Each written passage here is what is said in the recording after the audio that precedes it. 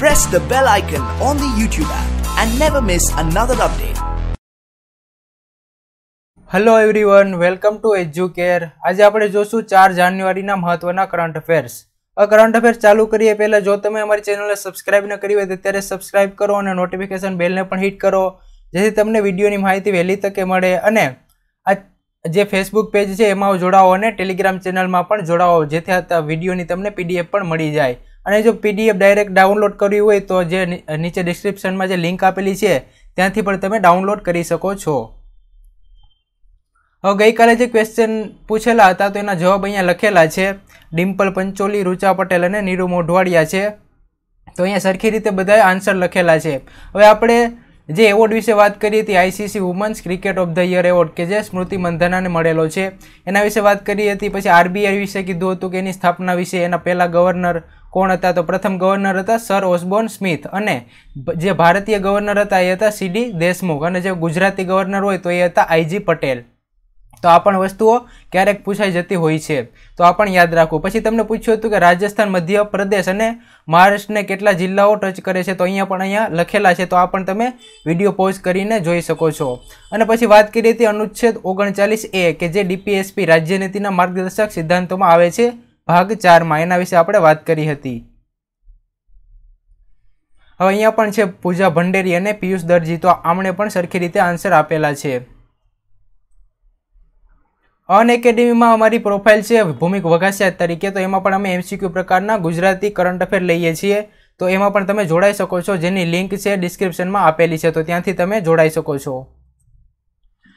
Question first છે, ગુજરાતના મુખ્યમંત્રી વિજય રૂપાણીએ હાલમાં ગરીબ કલ્યાણ મેળાની કેટલામી આવૃત્તિનું ઉદ્ઘાટન કર્યું છે. તો આપણા મુખ્યમંત્રી જે છે, વિજયભાઈ રૂપાણી, તો તેઓએ હાલમાં ગરીબ કલ્યાણ મેળાની હાલમાં અગિયારમી આવૃત્તિનું ઉદ્ઘાટન કર્યું છે. હવે આપણા જે મુખ્યમંત્રી છે, એમણે જે પોરબંદર જિલ્લો છે, તો પોરબંદર જિલ્લામાં આ જે એમ છે, ગરીબ કલ્યાણ મેળો, તો એનું ઉદ્ઘાટન કર્યું છે.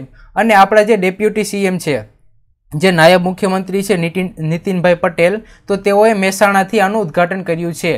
મુખ્યમંત્રીએ પોરબંદરથી કર્યું છે અને જે નીતિનભાઈ પટેલ છે ડેપ્યુટી સીએમ, તેમણે મહેસાણાથી આનું ઉદ્ઘાટન કર્યું છે. હવે આના વિશે જે આ ગરીબ કલ્યાણ મેળો છે, એના વિશે વિશેષમાં જોઈએ, તો મેળો છે ટોટલ આપણા ગુજરાતના જે તેત્રીસ જિલ્લાઓ છે, એમાં એકારે શરૂ કરવામાં આવ્યો છે અને ટોટલ ઓગણચાલીસ ગરીબ કલ્યાણ મેળાઓ શરૂ કરવામાં આવ્યા છે, કે જે પાંચ જાન્યુઆરી સુધી ચાલુ રહે છે. ત્રણ જાન્યુઆરીથી પાંચ જાન્યુઆરી સુધી. હવે આનો હેતુ શું છે?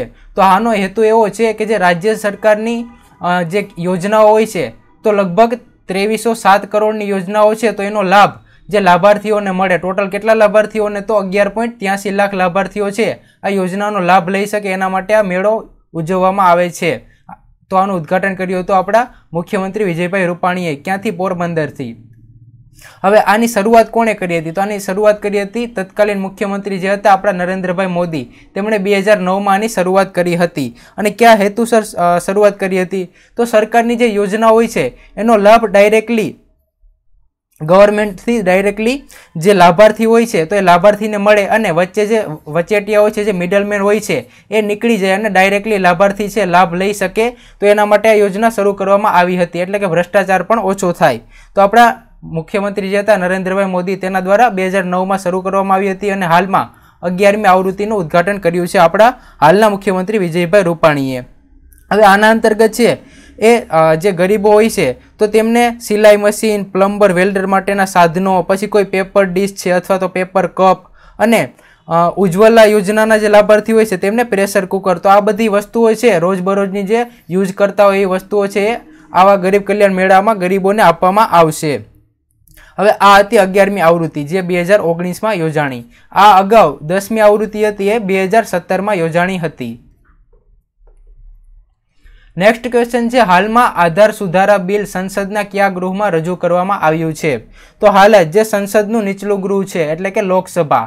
આ બંને આવશે, જવાબ આવશે સી, ઉપરોક્ત બંને. તો જે સંસદનું નીચલું ગૃહ છે, લોકસભા, તો એમાં આધારને રિલેટેડ એક આધાર એમેન્ડમેન્ટ બિલ રજૂ કરવામાં આવ્યું છે લોકસભામાં. તો શા માટે રજૂ કરવામાં આવ્યું છે એ વિશે આપણે જોઈએ.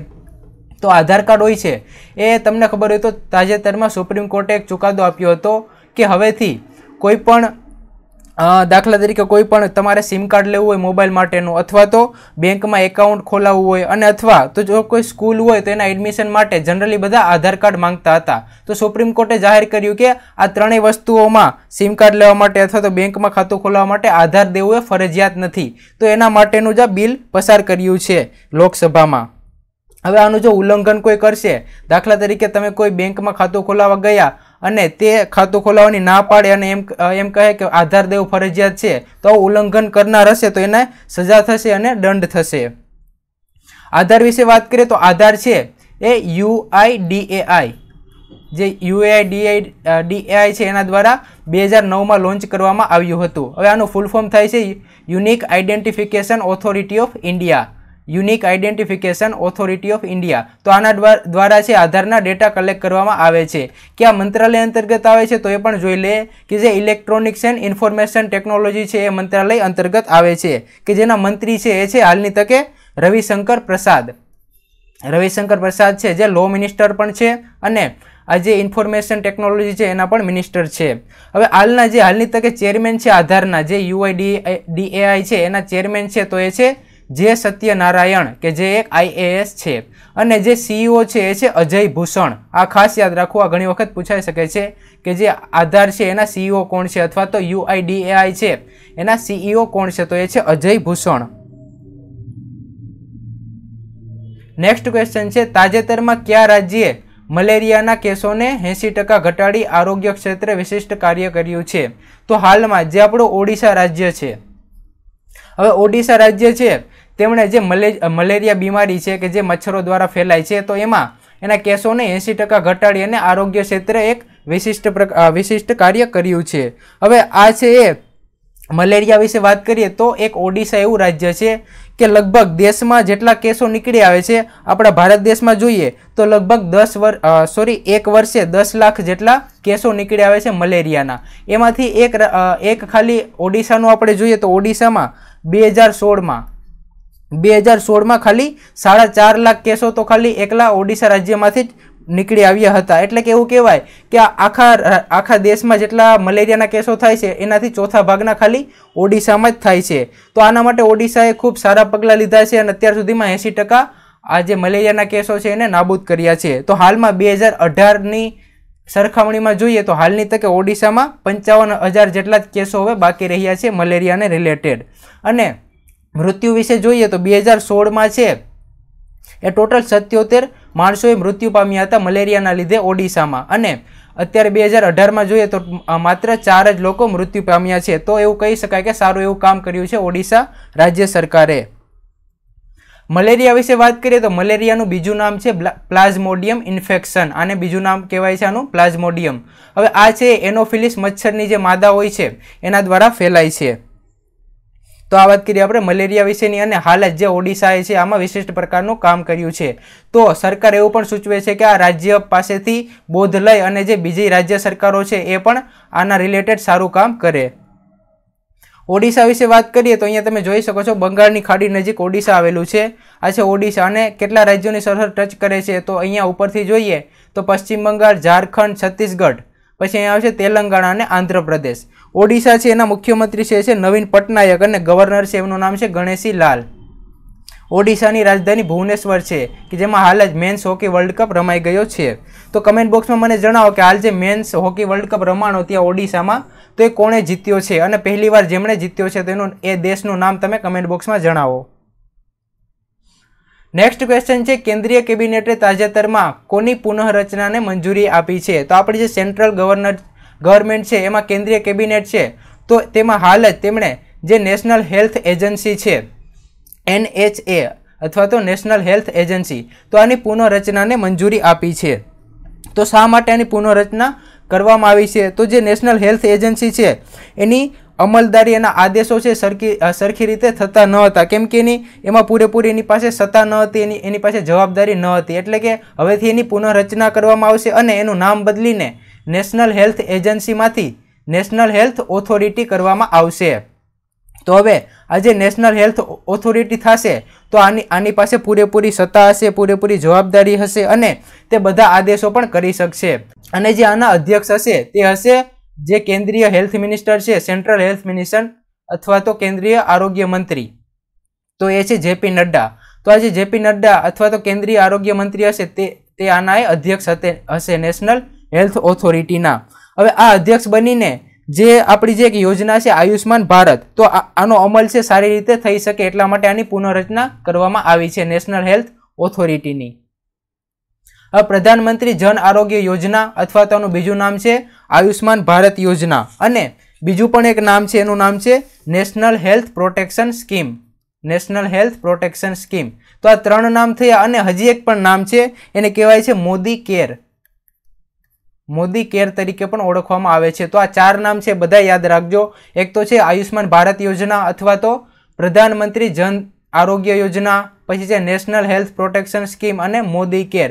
તો આ તરીકે અલગ અલગ નામોથી આ યોજનાને ઓળખવામાં આવે છે. આ યોજના છે એ લોન્ચ કરવામાં આવી હતી ત્રેવીસ સપ્ટેમ્બર બે હજાર અઢારના રોજ આપણા મુખ્યમંત્રી નરેન્દ્રભાઈ મોદી દ્વારા. અને આના જે સીઈઓ છે હાલની તકે, એનું નામ છે ઇન્દુભૂષણ ઇન્દુભૂષણ છે હાલની તકે આના સીઈઓ છે. હવે આ છે મિશન છે બે હજાર બાવીસ સુધીનો છે કે મિશન ન્યૂ ઇન્ડિયા છે બે હજાર બાવીસ સુધીનો આ યોજના છે આયુષ્માન ભારત છે એના માટેનો. નેક્સ્ટ ક્વેશ્ચન છે, કેટલી બેન્કોના મર્જરને હાલમાં કેન્દ્રીય કેબિનેટે મંજૂરી આપી છે? તો હાલમાં કેન્દ્રીય કેબિનેટે એક તો જે નેશનલ હેલ્થ એજન્સી હતી, એની પુનઃરચનાને પણ મંજૂરી આપી છે અને બીજું એ કે જે ત્રણ બેંકોના મર્જરને પણ મંજૂરી આપી છે. ત્રણ બેન્કો કઈ કઈ છે? તો એમાં એક આવે છે બેંક ઓફ બરોડા પછી છે દેના બેંક અને પછી છે વિજયા બેંક તો આ ત્રણ બેન્કો છે, એના મર્જર, મર્જરને કેન્દ્રીય કેબિનેટે મંજૂરી આપી દીધી છે. અને આના અગાઉ વીડિયો લેક્ચરમાં આપણે ડિટેલમાં આના વિશે બધી વાત કરી છે. જો તમે વીડિયો ન જોયો હોય તો તમે આ જોઈ શકો છો કે જેના વિશે આપણે વાત કરી હતી કે બેંક ઓફ બરોડા છે, એની સ્થાપના ક્યારે થઈ હતી, કોણે કરી હતી, પછી દેના બેંક છે, તો એની સ્થાપના જે આપણા પોરબંદરના દેવકરણ નાનજીભાઈ છે, તો તેમણે કરી હતી અને વિજયા બેંક વિશે આ બધા વિશે આપણે અગાઉ ડિટેલમાં જોઈ ગયા છીએ નેક્સ્ટ ક્વેશ્ચન છે ઇન્ડિયન પેનોરમા ફિલ્મ ફેસ્ટિવલ ક્યાં શરૂ થયો છે? હવે આ ઇન્ડિયન પેનોરમા ફિલ્મ ફેસ્ટિવલ છે અને ગુજરાતીમાં કહીએ તો ભારતીય ચિત્રાવલી ફિલ્મ ફેસ્ટિવલ, પેનોરમા એટલે ચિત્રાવલી થાય છે. તો આ જે ફિલ્મ ફેસ્ટિવલ છે, હાલમાં નવી દિલ્હીમાં શરૂ થયો છે. ફિલ્મ જગત ક્ષેત્રે સંકળાયેલું આ જે ફેસ્ટિવલ છે, નવી દિલ્હી આપણી રાજધાનીમાં, ભારત દેશની રાજધાનીમાં શરૂ થયું છે. અને આના વિશે વિશેષ વાત કરીએ તો આનું ઉદ્ઘાટન કોણે કર્યું છે? તો આનું ઉદ્ઘાટન છે અમિત ખરે. જે અમિત ખરે છે, તેમણે કર્યું છે અને તે આજ જ, આજ તારીખે એટલે કે ચાર જાન્યુઆરીના રોજ જ ઉદ્ઘાટન કર્યું છે અમિત ખરે, કે જેઓ માહિતી પ્રસારણના સચિવ છે. અને આ છે ચાર જાન્યુ, ચાર જાન્યુઆરીના રોજ શરૂ થયું છે અને ચૌદ જાન્યુઆરી સુધી રહેશે નવી દિલ્હીમાં. હવે આનું આયોજન કોણે કર્યું છે એ પણ જોઈ લઈએ. તો આનું આયોજન કર્યું છે જે માહિતી પ્રસારણ મંત્રાલય છે આપણું. તો તેણે તેણે કર્યું છે માહિતી પ્રસારણ મંત્રાલયે પ્લસ બીજું છે ફિલ્મ ફેસ્ટિવલ કચેરી. જે ફિલ્મ ફેસ્ટિવલ કચેરી છે એ. તો એ બંનેએ મળીને આનું આયોજન કર્યું છે. હવે આપણે જે માહિતી પ્રસારણના મંત્રી છે, જેની પાસે રાજ્ય લેવલનો દરજ્જો છે, તો એ છે રાજ્યવર્ધનસિંહ રાઠોડ. રાજ્યવર્ધનસિંહ રાઠોડ, કે જે આપણા માહિતી પ્રસારણ મંત્રી છે. નેક્સ્ટ ક્વેશ્ચન છે, વિશ્વનું પ્રથમ ઈ સ્પોર્ટ્સ સ્ટેડિયમ કયા દેશમાં બન્યું છે? તો વિશ્વનું પ્રથમ એવું સ્પોર્ટ નહીં પરંતુ ઈ સ્પોર્ટ એટલે કે ઇલેક્ટ્રોનિક સ્પોર્ટ્સ ઇલેક્ટ્રોનિક સ્પોર્ટનું સ્ટેડિયમ બન્યું છે આપણા જે પાડોશી દેશ છે ચીનમાં. અને અહીંયા તમે જોઈ શકો છો આ ઇમેજ તો આ છે વિશ્વનું પ્રથમ એવું ઈ સ્પોર્ટ સ્ટેડિયમ છે કે જે ચીને બનાવેલું છે. અને એક્ઝેક્ટ ક્યાં છે? તો એ ચીનનું એક શહેર છે જોંગકિન. તો આ સ્થળે આ બનાવવામાં આવ્યું છે. એનું નામ આખું છે એ છે જોંગસિયાન e sport stadium. જોંગસિયાન e sport stadium જેનું આખું નામ છે અને પ્રથમ ઈ સ્પોર્ટ છે વિશ્વનું. આનું ટોટલ બજેટ હતું, એ હતું પંદરસો સત્તર કરોડ. એટલે કે ટોટલ પંદરસો સત્તર કરોડમાં તૈયાર થયું છે અને આની ખાસિયત એવી છે કે આ જે ઇમેજમાં જોઈ શકો છો આ સ્ટેડિયમ તો આમાં એક તો કાચની દિવાલો છે, અહીંયા તમે જોઈ શકો છો. અને આ કાચની દિવાલો છે, એના ઉપર એલઈડી સ્ક્રીન ફિટ કરવામાં આવી છે, જેથી તમે બહારથી પણ મેચને નિહાળી શકો છો. અને આની જે આર્કિટેક્ટ હતા, એ હતા બૈરી હો. આના જે શિલ્પી હતા, એ બૈરી હો નામના વ્યક્તિ હતા કે જે હોંગકોંગના હતા. અને ઈ સ્પોર્ટ ઈ સ્પોર્ટ્સ વિશે વાત આવી છે તો એની શરૂઆત થઈ હતી ઓગણીસો બોતેરમાં, કે જે કમ્પ્યુટરમાં જે આપણે ગેમો રમી, રમીએ છીએ તો એ ઈ સ્પોર્ટ્સમાં આવે છે અને એની શરૂઆત થઈ હતી ઓગણીસો બોતેરમાં. ચીને આ બનાવ્યું છે તો ચીન વિશે વાત કરીએ તો રાષ્ટ્રપતિ છે હાલની તકે સી જિનપિંગ અને રાજધાની છે એ છે બીજિંગ. નેક્સ્ટ ક્વેશ્ચન છે, જય જવાન, જય કિસાન, જય વિજ્ઞાન અને જય અનુસંધાનનું સ્લોગન હાલમાં કોણે આપ્યું છે? તો હાલમાં જ આપણા નરેન્દ્રભાઈ મોદી કે જે આપણા વડાપ્રધાન છે, તેમણે આ સ્લોગન આપ્યું છે. હવે, આપણે જે નરેન્દ્રભાઈ મોદી છે, તેમણે આપણે હમણાં એક બે દિવસ પહેલાં જ જોયું કે એકસો છમી જે ઇન્ડિયન સાયન્સ કોંગ્રેસ છે, પંજાબમાં યોજાણી છે. તો આ જે શરૂ થઈ આ યોજાણી, તો ત્યાં, તે ખાતે આપણા જે વડાપ્રધાન છે, તેમણે આ એક સૂત્ર આપ્યું છે, આ સ્લોગન આપ્યું છે, જેનું નામ છે, જય જવાન, જય કિસાન, જય વિજ્ઞાન અને જય અનુસંધાન. તો આ એમણે સ્લોગન આપ્યું છે. જ્યાં એકસો છમી આજે કોંગ્રેસની સમિટ થઈ હતી, ઇન્ડિયન સાયન્સ કોંગ્રેસની તેમાં. હવે આની થીમ શું હતી એ પણ આપણે અગાઉ ડિસ્કસ કરી ગયા છે, પણ એકવાર પાછું કહી દઉં કે આની થીમ હતી હતી future India, science and technology. હવે કમેન્ટ બોક્સમાં તમે એ જણાવો કે જય જવાન અને જય કિસાન, આ જે નારો છે એ કોણે આપેલો છે? તમને એક હિન્ટ આપું તો આપણા બીજા નંબરના વડાપ્રધાન હતા અને તેમણે નારો આપેલો છે. તો એ કમેન્ટ બોક્સમાં જણાવો કે જય જવાન અને જય કિસાન એ નારો કોણે આપેલો છે? અને એ પણ જણાવો કે જય જવાન, જય કિસાન અને જય વિજ્ઞાન, આ નારો પણ કોની સાથે સંકળાયેલો છે? તો આ બંને તમે કમેન્ટ બોક્સમાં જણાવો. પંજાબમાં એકસો છમી સાયન્સ કોંગ્રેસ યોજાણી હતી, આપણે જોઈ ગયા. સોરી પંજાબમાં અહીંયા. તો પંજાબ વિશે જોઈએ તો પંજાબના જે રાજ્યો ટચ કરે છે, તો ઉપરથી જોઈએ તો જમ્મુ એન્ડ કાશ્મીર, પછી હિમાચલ પ્રદેશ, હરિયાણા અને રાજસ્થાન. પંજાબના જે મુખ્યમંત્રી છે, એમનું નામ છે કે અમરિંદર સિંહ અને જે ગવર્નર છે એમનું નામ છે વીપી સિંહ બદનોર અને રાજધાની એ છે ચંડીગઢ કે જે હરિયાણાની અને પંજાબની બંનેની એક જ છે. નેક્સ્ટ ક્વેશ્ચન છે, ભારતની પ્રથમ ગ્લોબલ એવિએશન સમિટ બે હજાર ઓગણીસ ક્યાં યોજાશે? તો ભારતના ઇતિહાસમાં પ્રથમ વખત જોઈએ તો ભારતની પ્રથમ એવી ગ્લોબલ એવિએશન સમિટ કે જે બે હજાર ઓગણીસમાં યોજાશે અને એ ક્યાં યોજાશે? તો એ યોજાશે આપણા જે મુંબઈ છે, મુંબઈ સિટી, તેમાં યોજાશે. હવે આ જે સમિટ યોજાવા જઈ રહી છે, તો આના શા માટે યોજાશે એના વિશે આપણે જોઈએ. તો જે ઉડ્ડયન ક્ષેત્ર છે, એવિએશન છે, એવિએશન સેક્ટર, તો એમાં ભારત છે, દિવસે ને દિવસે વૃદ્ધિ કરી રહ્યું છે, એમાં ગ્રોથ કરી રહ્યું છે. તો એના ગ્રોથ છે, એને રેકોગ્નાઇઝ કરવા માટે આ સમિટ થઈ થવાની છે બે હજાર ઓગણીસમાં. અને ક્યારે થવાની છે? તો પંદરથી સોળ જાન્યુઆરી અંતર્ગત થવાની છે અને મુંબઈમાં થવાની છે. આનું આયોજન કોણ કરી રહ્યું છે? તો આનું આયોજન કરી રહ્યું છે, એક તો જે આ મંત્રાલય છે, નાગરિક ઉડ્ડયન મંત્રાલય, એ આયોજન કરી રહ્યું છે, પ્લસ જે એરપોર્ટ ઓથોરિટી ઓફ ઇન્ડિયા છે, એ અને ત્રીજી છે એ છે ફિક્કી. તો આ ત્રણેય દ્વારા આયોજન થઈ રહ્યું છે. જે નાગરિક ઉડ્ડયન મંત્રાલય છે, તો એના મંત્રી કોણ છે? તો એ છે સુરેશ પ્રભુ. સુરેશ પ્રભુ જે આપણા કેન્દ્રીય નાગરિક ઉડ્ડયન મંત્રાલયના મંત્રી છે. હવે આની થીમ છે, આજે સમિટ થઈ રહી છે, તો આની થીમ શું છે? તો આની થીમ છે ફ્લાઇંગ ફોર ઓલ. એટલે કે બધા માટે ઉડવું. અને બીજું છે especially for the next six billion એટલે કે આ ગુજરાતીમાં જોઈએ તો બધા માટે ઉડવું ફ્લાઇંગ ફોર ઓલ અને જે આવનારી જે છ અબજ છે એના માટે સ્પેશિયલી આવનારા જે છ અબજ છે એના માટે, તો આ છે એની થીમ હવે એરપોર્ટ ઓથોરિટી ઓફ ઇન્ડિયા વિશે આપણે જોઈએ, તો અગાઉ પણ આપણે ચર્ચા કરી હતી અને પાછું એકવાર જોઈ લઈએ કે જેની સ્થાપના થઈ હતી એક એપ્રિલ ઓગણીસો પંચાણુંમાં કે જે એક વૈધાનિક સંસ્થા છે અથવા તો એમ કહીએ તો સ્ટેચ્યુટરી ઓથોરિટી છે. હવે, આ છે એના ચેરમેન છે, એ છે ગુરુપ્રસાદ મોહાપાત્રા અને જે એક્સ એના ઓફિસો હતા, એ હતા બીસી ભુલ્લર. અને ફિક્કીની વાત કરીએ તો ફિક્કીનું પહેલાં તો ફૂલ ફોર્મ આપણે જાણી લઈએ. ફૂલ ફોર્મ થાય છે federation of Indian chamber of commerce and industry તો બિઝનેસ લેવલના જે બિઝનેસ ઓર્ગેનાઇઝેશન હોય છે, એનું એક એસોસિએશન છે આ ફિક્કી. જેનું ફૂલ ફોર્મ છે, અહીંયા લખેલું છે.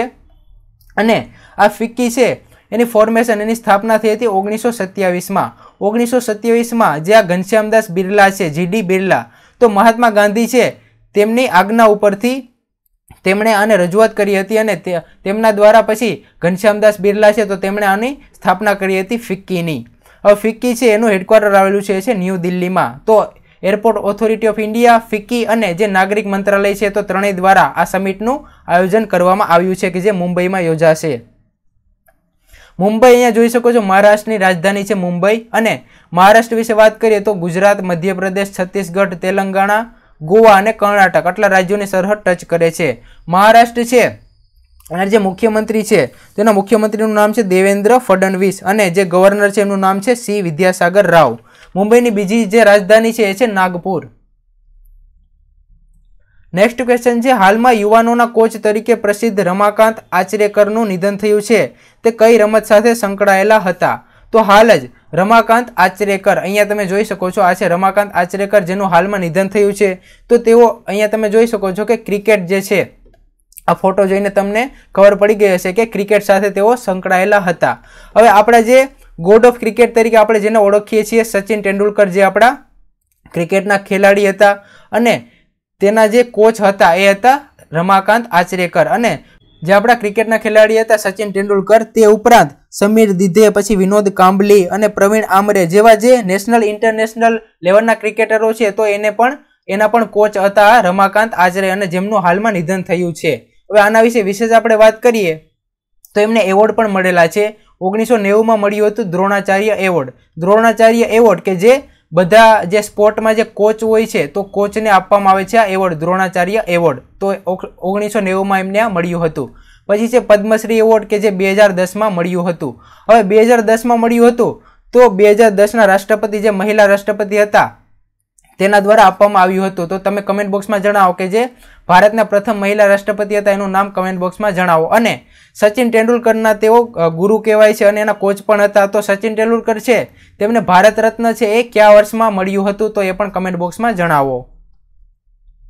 ગઈકાલનો જે ક્વેશ્ચન હતો એનો જવાબ આવે છે સ્મૃતિ મંધાના કે જેમને ICC women's cricket of the year તરીકે જેમની પસંદગી થઈ છે અને તેમને એવોર્ડ આપવામાં આવ્યો છે. આજનો તમારા માટે ક્વેશ્ચન છે જે તાજેતરમાં કયા બે દેશ યુનેસ્કોમાંથી છૂટા પડ્યા છે? અમેરિકા, ઇઝરાયલ, ઉપરોક્ત બંને કે એક પણ નહીં? તો આનો જવાબ કમેન્ટ બોક્સમાં જણાવો. અને યુનેસ્કોની વાત આવી છે તો આપણા ગુજરાતમાંથી કેટલી યુનેસ્કોની હેરિટેજ સાઇટ છે? તો એ જે જેટલી સાઇટો છે એના નામ તમે કમેન્ટ બોક્સમાં જણાવો. આવી રીતે ડેઇલી કરંટ અફેર મેળવવા માટે અમારી ચેનલને લાઇક કરો શેર કરો અને સબસ્ક્રાઇબ કરો અને નોટિફિકેશન બેલને પણ હિટ કરો. જો સબસ્ક્રાઇબ ન કરી હોય તો સબસ્ક્રાઇબ કરી લો અને આ વિડીયોની પીડીએફ મેળવવા માટે ટેલિગ્રામ ચેનલમાં જોડાવો થેન્ક યુ